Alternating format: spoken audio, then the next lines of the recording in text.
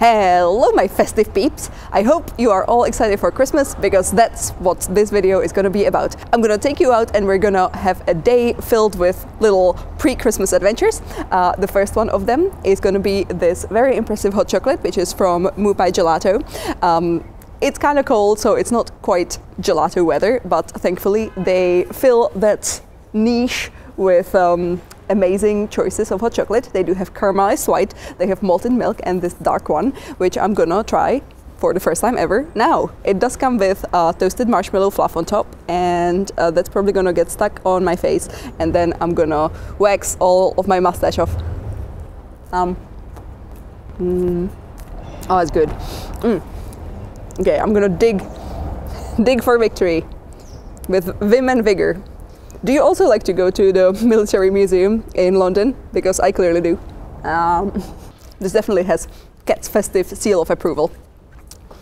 But if you want to super duper treat yourself and you do have 40 or 80 pounds spare, then I recommend you pop over to the Dome, which you probably know as the one building in Edinburgh that really just like lights up for Christmas. It is great for taking pictures of it, but it's also great to have drinks in it. And this time of year, you can also get your little Christmassy morning tea, as in afternoon tea, but it's usually in the AM, and it comes with all sorts of Christmas inspired treats.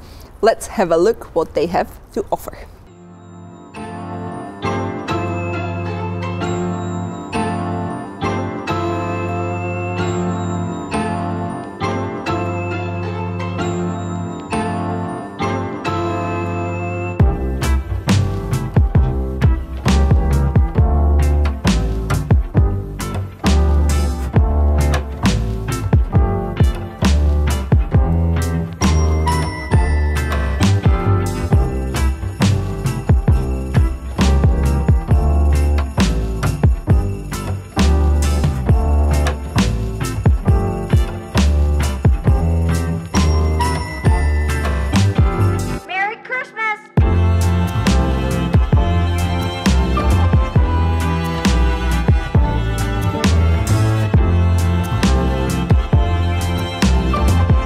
On the agenda is going to be the Christmas markets. And this year they are a bit different than what we usually get because um, in the past we would get that like top layer and under it would be like the Santa's grotto and kind of like the part that's meant more for families with younger kids.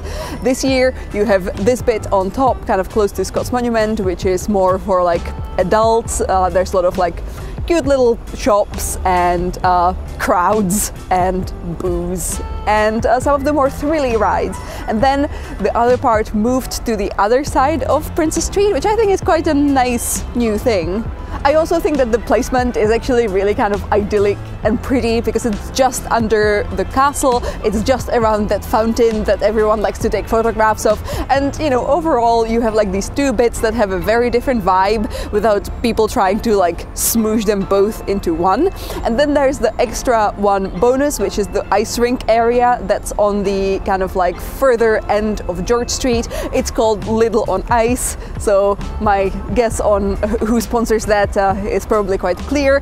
But um, as you are, I to say littling, but I want to say ice skating.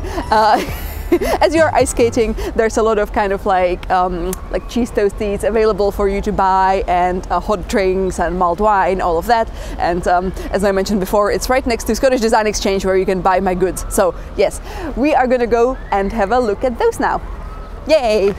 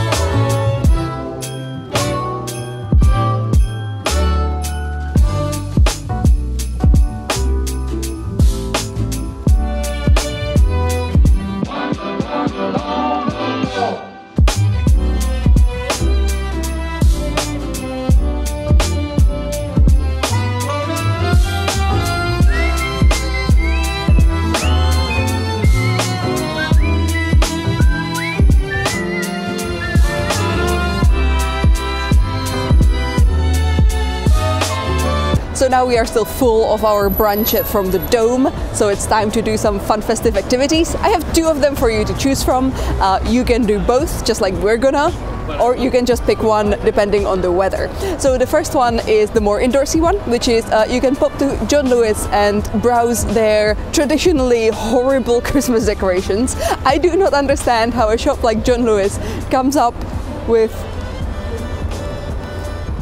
I'm looking for a word that I don't have to bleep out, but it they are fascinating. We did buy some really stupid looking ones for our tree and uh, we love them. So that's one activity for you. The other one is a bit more romantic. You can have a nice little stroll through, um, I would recommend Newtown and Stockbridge. If you want to see people's amazing decorations for this season, people are really going all in. Here in Britain, you can really like see people's trees and appreciate them and people put them up, you know, around almost, you know, like 1st of December. It obviously gets a bit more colorful and fun towards actual Christmas. But um, you know, don't be dissuaded if it's still quite early in the month.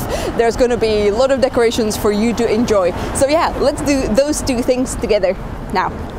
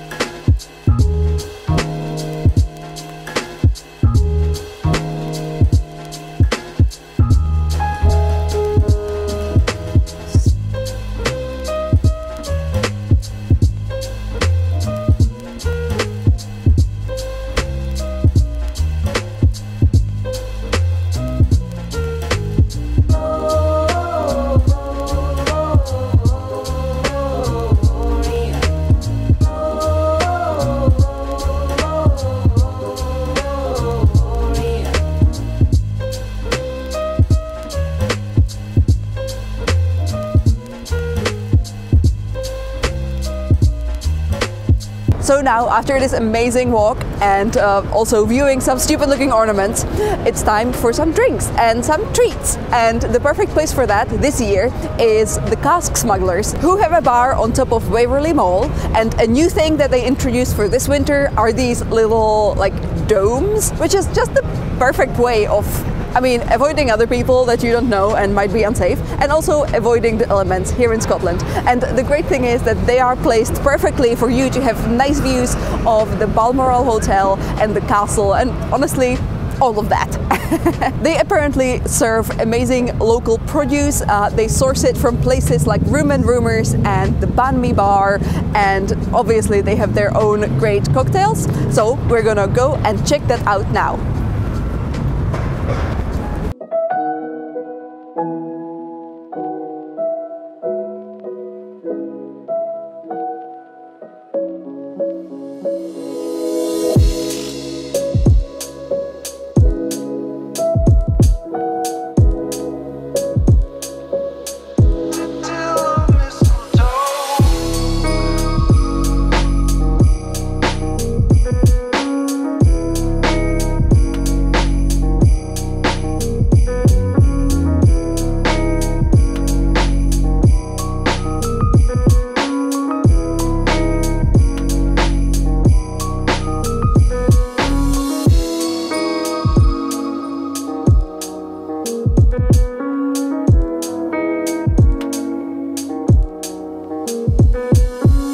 And so we made it back home and we are fully Christmased out. Now I'm feeling like I maybe should have saved some of the Christmassiness for actual Christmas.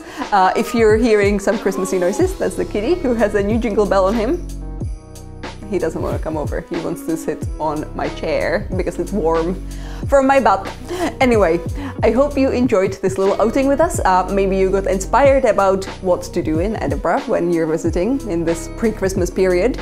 Um, let us know in the comments below if you can think of more Christmassy things to do because maybe, you know, some of these things are not for everyone. Maybe you might have better ideas for people who don't want to go to the markets or don't want to stroll around Newtown. Uh, maybe they want to like have a festive cheese toasty from Mellis's Cheesemongers um, in Stockbridge or Victoria Street. That's one thing that we really wanted to make a part of this video, but then we never had time to kind of like fit in a whole cheese toasty, which is tragic. Well, maybe we will still find some time to do that in the run up to Christmas. If I end up having the cheese toasty though, I will definitely post about it on my Instagram. That would be on Kakiblog. And I also have another account which is called KakiBot, just like this one. And that's where I post my art. So first one for cheese toasties, the second one for art. Make your pick. Anyway, thank you so much for joining us. Hopefully you enjoyed this little gallivant through Edinburgh before Christmas and I will see you soon.